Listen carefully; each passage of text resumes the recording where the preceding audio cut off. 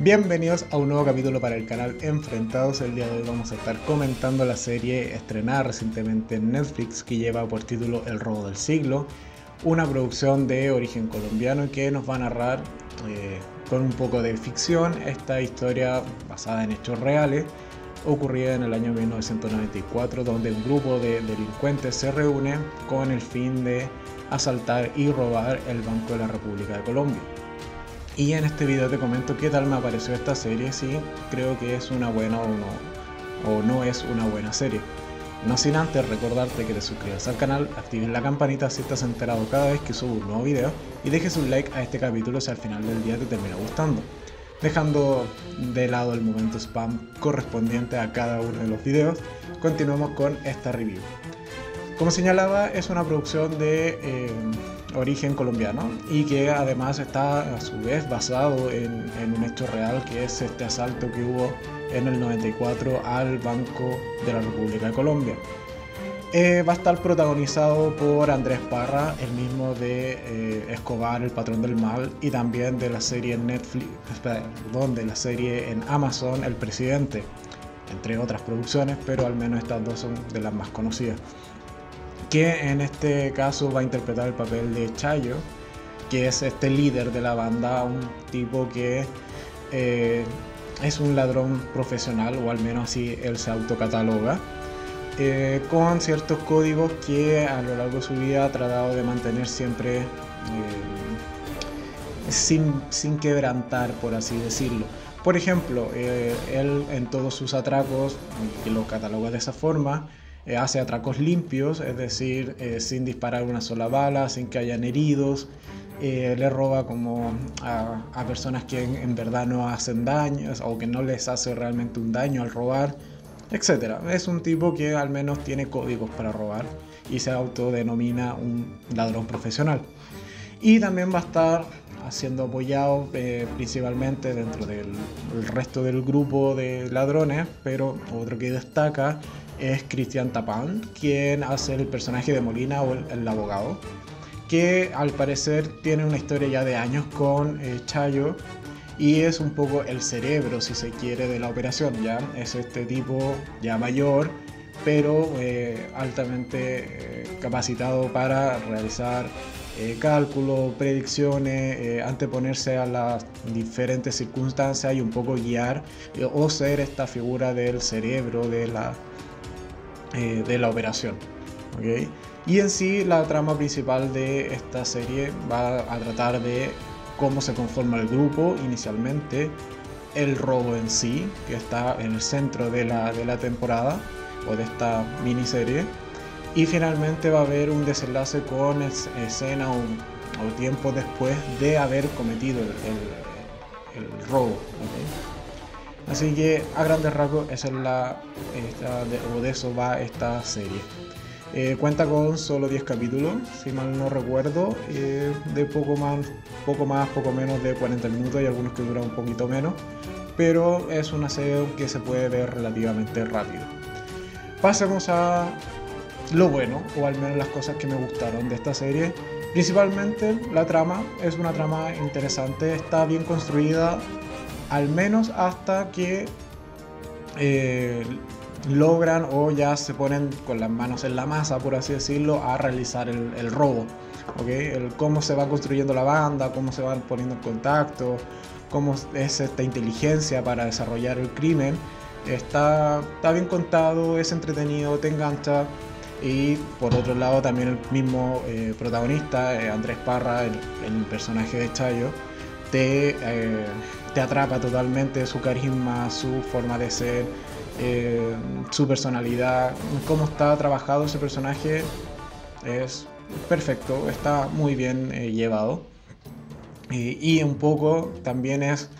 y pasando ya de, lleno a lo que quizás no me gustó tanto o cosas que me dejaron un poco al debe, está también que el resto de los personajes no tienen el mismo nivel, por así decirlo, que este protagonista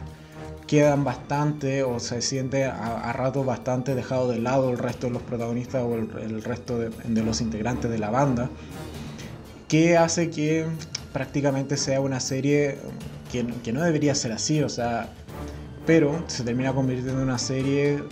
de un solo personaje y que todo gira en torno a este único personaje. Mientras que debiese quizás tratarse más del robo en sí o de la banda en sí. Me hubiese gustado un poco más ver esta, esta relación de banda más que de este protagonista que lidera finalmente todo el atraco y que prácticamente sin él nada existiese. Está bien siendo el líder de la banda, ok, pero también tienes otros miembros que, de la banda que son importantes y que en realidad sin ellos no se hubiese realizado el crimen. Y se dejan bastante de lado algunos de estos otros personajes. Y también eh, otra cosa que quizás no me terminó de convencer o no me terminó de agradar del todo esta serie es el factor suerte. Porque si bien está el disclaimer en cada uno de los capítulos de que está basado en, hechos reales, pero también tiene ciertos o ciertas escenas de ficción como para complementar o eh, añadir al final de cuentas trama o intensidad a la misma serie. Eh, muchas de estas tramas o subtramas que existen eh, se resuelven mayoritariamente con suerte o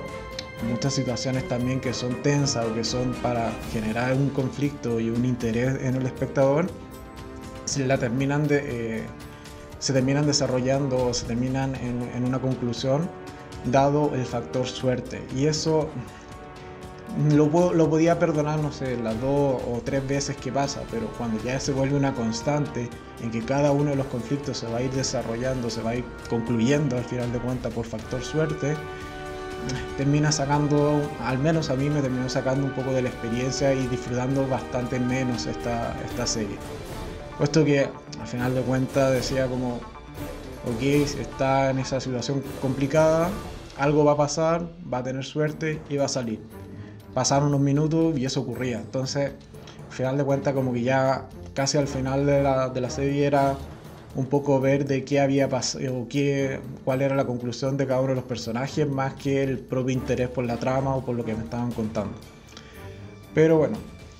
en resumen, eh, considero que sí, igual es una buena serie, es rápida de ver, es entretenida, eh, también un poco para entender este, esto histórico en lo que es Colombia también un poco las consecuencias que tuvo este robo, y por algo es el robo del siglo, puesto que la cantidad de dinero que roban es